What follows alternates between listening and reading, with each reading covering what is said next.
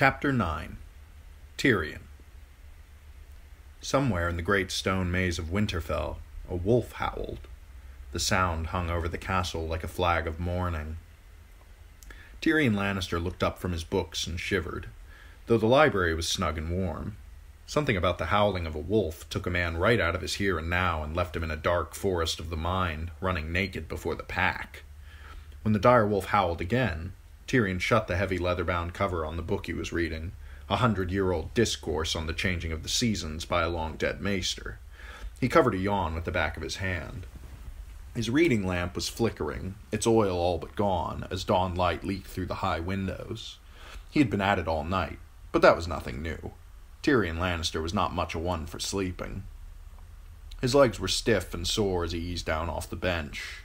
He massaged some life back into them and limped heavily to the table where the Septon was snoring softly, his head pillowed on an open book in front of him. Tyrion glanced at the title. A Life of the Grand Maester Aethelmure. No wonder. Chayle, he said softly. The young man jerked up, blinking, confused, the crystal of his order swinging wildly on its silver chain. I'm off to break my fast. See that you return the books to the shelves. Be gentle with the Valyrian scrolls. The parchment is very dry. Ayrmidon's Engines of War is quite rare, and yours is the only complete copy I've ever seen. Chayle gaped at him, still half asleep.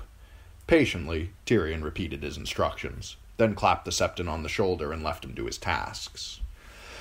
Outside, Tyrion swallowed a lungful of the cold morning air and began his laborious descent of the steep stone steps that corkscrewed around the exterior of the library tower. It was slow going. The steps were cut high and narrow, while his legs were short and twisted. The rising sun had not yet cleared the walls of Winterfell, but the men were already hard at it in the yard below. Sandor Clegane's rasping voice drifted up to him. The boy is a long time dying. I wish you would be quicker about it. Tyrion glanced down and saw the hounds standing with young Joffrey as squires swarmed around him. At least he dies quietly, the prince replied. It's the wolf that makes the noise. I could scarce sleep last night. Clegane cast a long shadow across the hard packed earth as his squire lowered the black helm over his head. I could silence the creature, if it please you, he said through his open visor. His boy placed a long sword in his hand he tested the weight of it, slicing at the cold morning air. Behind him, the yard rang to the clangor of steel on steel. The notion seemed to, to, delight the prince. Send a dog to kill a dog! he exclaimed. Winterfell is so infested with wolves, the Starks would never miss one. Tyrion hopped off the last step onto the yard. I beg to differ, nephew, he said. The Starks can count past six, unlike some princes I might name. Joffrey had the grace at least to blush. A voice from nowhere, Sandor said. He peered through his helm, looking this way and that. Spirits of the air. The prince laughed, as he always laughed when his bodyguard did this mummer's farce. Tyrion was used to it. Down here, the tall man peered down at the ground and pretended to notice him. The little Lord Tyrion, he said. My pardons. I did not see you standing there. I'm in no mood for your insolence today, Clegane. Tyrion turned to his nephew. Joffrey, it is past time you called on Lord Eddard and his lady to offer them your comfort. Joffrey looked as petulant as only a boy prince could look. What good will my comfort do them? None, Tyrion said, yet it is expected of you. Your absence has been noted. The Stark boy is nothing to me, Joffrey said, I cannot abide the wailing of women. Tyrion Lannister reached up and slapped his nephew hard across the face. The boy's cheek began to redden. One word, Tyrion said, and I will hit you again. I'm going to tell mother! Joffrey exclaimed. Tyrion hit him again. Now both cheeks flamed. You tell your mother, Tyrion told him. But first, you get yourself to Lord and Lady Stark, and you fall to your knees in front of them, and you tell them how very sorry you are, and that you are at their service if there is the slightest thing you can do for them or theirs in this desperate hour, and that all your prayers go with them. Do you understand? Do you? The boy looked as though he was going to cry. Instead, he managed a weak nod. Then he turned and fled headlong from the yard, holding his cheek. Tyrion watched him run. A shadow fell across his face. He turned to find Clegane looming overhead like a cliff. His soot dark armor seemed to blot out the sun.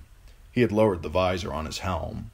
It was fashioned in the likeness of a snarling black hound, fearsome to behold, but Tyrion had always thought it a great improvement over Clegane's hideously burned face. The prince will remember that, little lord, the hound warned him. The helm turned his, hot, his laugh into a hollow rumble. I pray he does, Tyrion Lannister replied. If he forgets, be a good dog and remind him. He glanced around the courtyard. Do you know where I might find my brother? Breaking fast with the queen. Ah, Tyrion said. He gave Sandor Clegane a perfunctory nod and walked away as briskly as his stunted legs would carry him, whistling.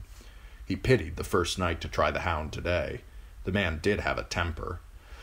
A cold, cheerless meal had been laid out in the morning room of the guest house. Jaime sat at table with Cersei and the children, talking in low, hushed voices. Is Robert still abed? Tyrion asked as he seated himself, uninvited, at the table.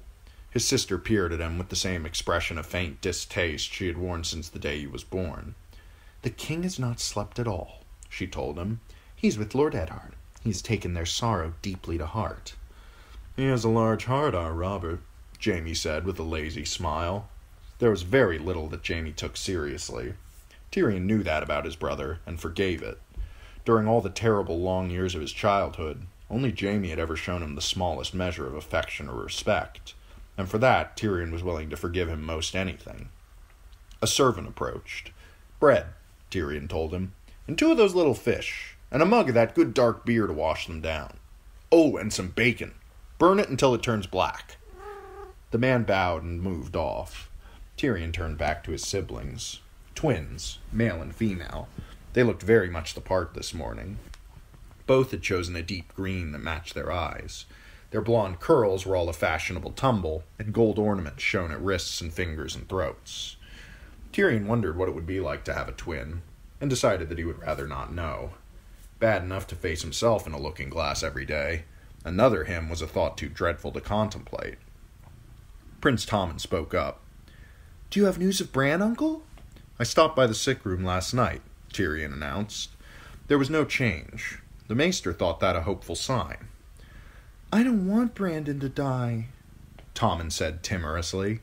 He was a sweet boy, not like his brother.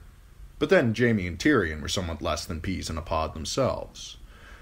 Lord Eddard had a brother named Brandon as well, Jaime mused. One of the hostages murdered by Targaryen. Seems to be an unlucky name. Oh, not so, so unlucky as all that, surely, Tyrion said. The servant brought his plate. He ripped off a chunk of black bread. Cersei was studying him warily.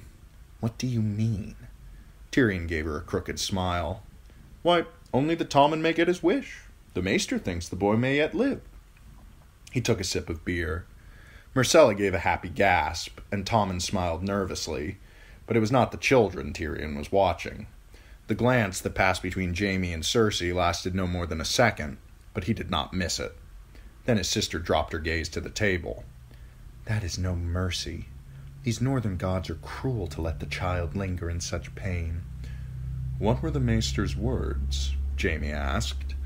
The bacon crunched when he bit into it. Tyrion chewed thoughtfully for a moment and said, He thinks that if the boy were going to die, he would have done so already. It has been four days with no change. Will Bran get better, Uncle? Little Myrcella asked. She had all of her mother's beauty, and none of her nature. His back is broken, little one, Tyrion told her. The fall shattered his legs as well. They keep him alive with honey and water, or he would starve to death. Perhaps, if he wakes, he'll be able to eat real food, but he will never walk again. If he wakes, Cersei repeated. Is that likely? The gods alone know, Tyrion told her. The maester only hopes. He chewed some more bread. I would swear that wolf of his is keeping the boy alive. The creature is outside his window day and night, howling.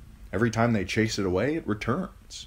The maester said they closed the window once to shut out the noise, and Bran seemed to weaken. When they opened it again, his heart beat stronger. The queen shuddered. There is something unnatural about those animals, she said. They're dangerous. I will not have any of them coming south with us. Jaime said, You'll have a hard time stopping them, sister. They follow those girls everywhere. Tyrion started on his fish. Are you leaving soon, then? Not near soon enough, Cersei said. Then she frowned. Are we leaving? she echoed. What about you? Gods, don't tell me you are staying here. Tyrion shrugged. Benjen Stark is returning to the Night's Watch with his brother's bastard. I have a mind to go with them and see this wall we have all heard so much of. Jaime smiled. I hope you're not thinking of taking the black on us, sweet brother. Tyrion laughed. What, me? Celibate? The whores would go begging from Dorne to Casterly Rock. No, I just want to stand on top of the wall and piss off the edge of the world. Cersei stood abruptly. The children don't need to hear this filth. Tommen, Myrcella, come. She strode briskly from the morning room, her train and her pups tra- trailing behind her. Tyrion Lannister regarded his brother thoughtfully with those cool green eyes. Stark will never consent to leave Winterfell with his son lingering in the shadow of death. He will if Robert commands it, Tyrion said, and Robert will command it. There's nothing Lord Eddard can do for the boy in any case. He could end his torment, Jaime said. I would, if it were my son. It would be a mercy. I advise against putting that suggestion to Lord Eddard, sweet brother, Tyrion said. He would not take it kindly. Even if the boy does live, he will be a cripple. Worse than a cripple, a grotesque. Give me a good, clean death. Tyrion replied with a shrug that accentuated the twist of his shoulders. Speaking for the grotesques, he said, I beg to differ. Death is so terribly final, while life is full of possibilities. Jaime smiled. You are a perverse little imp, aren't you? Oh, yes, Tyrion admitted. I hope the boy does wake. I would be most interested to hear what he might have to say. His brother's smile curdled like sour milk. Tyrion, my sweet brother, he said darkly, there are times when you give me cause to wonder whose side you are on. Tyrion's mouth was full of bread and fish. He took a swallow of strong black beer to wash it all down, and grinned up wolfishly at Jaime.